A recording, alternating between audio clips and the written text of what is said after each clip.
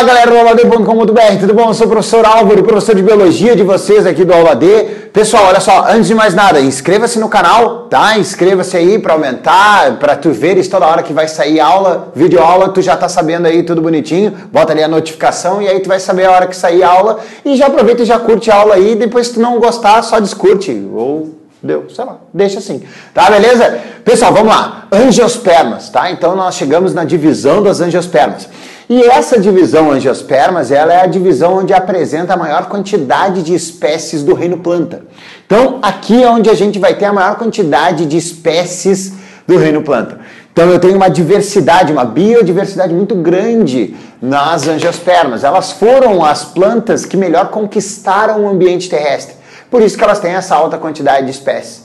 Beleza? Se a gente for associar com o reino animal, que a gente vai ver ainda, no reino animal eu vou ter os artrópodes com a maior quantidade de espécies, em especial a classe dos insetos. Tá? E a gente vai ver que insetos e uh, angiospermas, né, eles têm uma relação, uma coevolução, porque eles são os principais agentes polinizadores dessas plantas. Tá? E a gente vai falar de polinização ainda muito bem ali no ciclo de vida, que é um outro videozinho. Hoje a gente vai, agora, nesse, nessa videoaula, a gente vai falar principalmente das características gerais das angiospermas.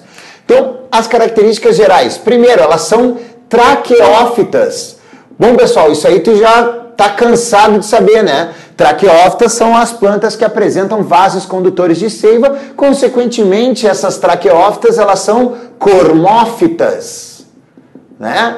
Plantas que apresentam os órgãos verdadeiros. Então, traqueófitas, vasos condutores de seiva, cormófitas, plantas que apresentam raiz, caule e folha, órgãos verdadeiros, tá? Além disso, essas angiospermas aqui, ó, elas também são consideradas fanerógamas, ou seja, plantas que apresentam os órgãos sexuais expostos. Eu olho uma angiosperma, eu sei a região onde se encontram os órgãos sexuais, que no caso aqui das angiospermas são as flores. Aquela flor verdadeira que tu dá pra tua namorada no dia dos namorados e tal, ou que você, menina, recebe no dia dos namorados, essa flor ela é uma flor verdadeira, é a flor das angiospermas. Beleza? Outra coisinha aqui, ó, as plantas as angiospermas, elas são também consideradas espermatófitas. Lembram o que, que significa espermatófitas, né? Apresentam semente. Então, o embrião está bem protegidinho dentro de uma estrutura chamada semente, que lá, quando a gente for falar uh, de fruta, a gente também vai falar de semente. Eu vou te falar de algumas características específicas dessa semente. Outra característica, e essa é a característica principal aqui, ó, vou botar um asterisco, que é. Ops, ops, ops, ops, ops. Falei, pensei numa coisa e escrevi outra. É o fruto, tá, pessoal? Então, o fruto é a característica que surge aqui nas angiospermas. É a nova característica e é o ápice da evolução dos vegetais ou do reino planta.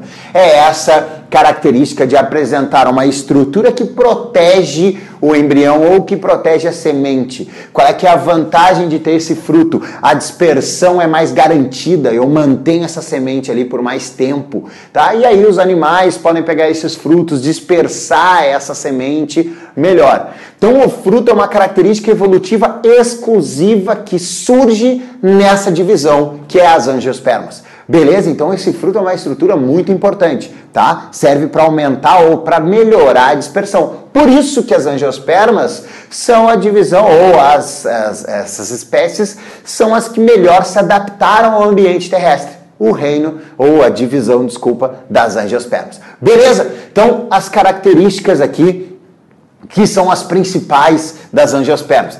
Uma outra coisa que pode aparecer para vocês, eu não coloquei, ops, deixa eu eu não coloquei lá nas gimnospermas para ti, tá? Mas as gimnospermas, que são aquelas que a gente viu na videoaula anterior, aí espero que já tenha visto para seguir direitinho a sequência, nas gimnospermas elas também são sifonógamas.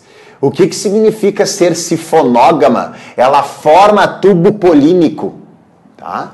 Então aqui eu também tenho a formação do tubo polínico e aí eu espero que vocês lembrem que o tubo polínico é importante para a independência da água para a reprodução.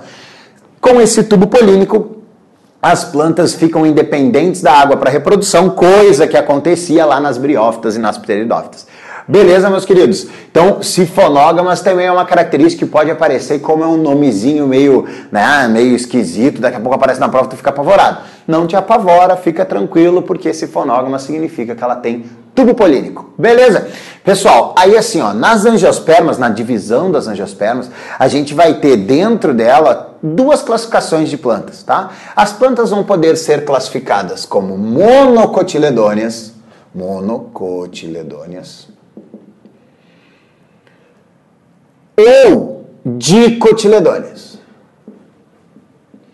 Essas duas dicotiledôneas, essas duas classificações são de acordo aqui, ó, se tu for olhar o nome, tu tá vendo, ó, monocotiledônia ou dicotiledônia, deixa eu botar aqui, ó, assim.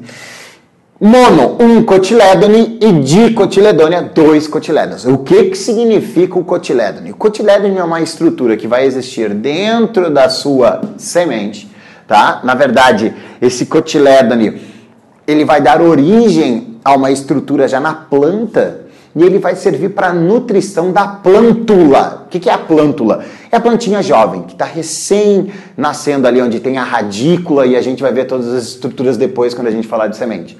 Então, a primeira estrutura que surge, que a gente chama de um primórdio foliar, que tu já deve ter visto quando tu plantou o feijãozinho no algodão, né? Então lá no coleginho, lá tu, tu pega o feijãozinho, joga no algodão, molha o algodãozinho, e aí quando começa a nascer o teu feijãozinho, que tu espera que ele cresça absurdamente, tu suba nele e enfrente o gigante e pega o pote de ouro lá do né, João Pé de Feijão, esse teu feijãozinho aí, lá na pontinha ele vai abrir em duas folhinhas, vai ter duas folhinhas assim, ó. Tá? E aí essas duas folhinhas que a gente chama de primórdios foliares mostra que esta planta ela é uma dicotiledônia, porque ela tem dois cotilédones, duas folhinhas. Quando ela não tem esses dois cotilédones, quando ela não tem essa bifurcação, essa separação, a gente chama de uma monocotiledônia, fica só uma folhinha, que é o que acontece normalmente no milho. Tá? Então a gente chama as plantas dicotiledôneas de leguminosas e as monocotiledôneas de cereais. Tá? Então, a gente tem essa divisão, então, dentro do grupo das angiospermas. E aí eu vou puxar a TVzinha aqui, ó. Olha só, essa TV linda. Ah, um videogame aqui, né? Um playzinho para jogar nela. Pera aí que o fio pegou aqui. Senão a gente desliga a TV e aí vai virar um, uma desgrama. Beleza, ó. Ah, TV. Deixa eu ajeitar aqui na, coisinha. Ah, mais pra cá, mais pra cá, beleza. Tá, espero que já tenha copiado tudo no quadro. Se não copiou, volta o vídeo aí, pausa e copia tudo. Monocotiledôneas e dicotiledôneas. Monocotiledôneas em cima, dicotiledôneas aqui embaixo. Vamos ver as diferenças entre monocotiledôneas e dicotiledôneas. As prime a primeira diferença a gente já viu. Mono e dico. Um cotilédone ou dois cotilédones. Folhas. Nas folhas, as monocotiledôneas, elas têm nervuras paralelas. Então, quando tu olha a folhinha, as nervurinhas são tudo uma do ladinho da outra, são todas listradinhas. Nas dicotiledôneas, essas nervuras, elas podem ser chamadas de reticulares ou também palminérvias, que como parece a palma da tua mão. Então, tu tem uma nervura principal e outras ranhuras aqui, né? Então, a mesma coisa acontece aqui. Oh, não, minha mão não tem assim. Bom, tá, beleza, mas a minha tem. Ó, oh, não, mentira.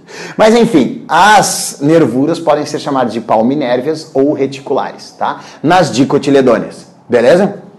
O caule tem uma diferença na, dis, eh, na dispersão ou na formação dos vasos condutores. Então aqui eu vou ter esses feixes mais dispersos. Então se eu fizer um corte transversal lá do caule, corte transversal, olho por cima, eu vou ver os caulezinhos, o caule com eh, os vasos todos dispersos. Aqui eles são organizados em um câmbio. E esse câmbio a gente vai ver lá nos tecidos vegetais mais à frente, que é a estrutura que vai formar os, os vasos condutores, xilema e floema. Beleza? Então esse câmbio organiza, ó, bem mais organizadinho os vasos condutores.